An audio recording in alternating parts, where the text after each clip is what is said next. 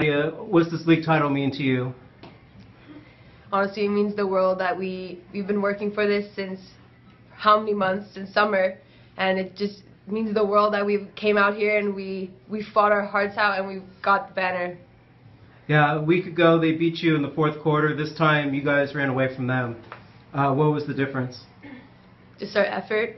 I think last time we played them, we kind of gave up. We were tired and we just gave in to their intensity. And this time we we knew what was on the line and we just we uh, outplayed them.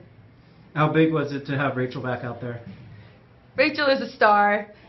Uh, it she does everything for us, and honestly, it was uh, it was amazing having her back. She's uh, she's kind of the core for us, and it was good having that balance back on our team. It didn't seem like Fabi was going to miss anything today. No, she was fire. Well, cool. Congratulations. Thank you.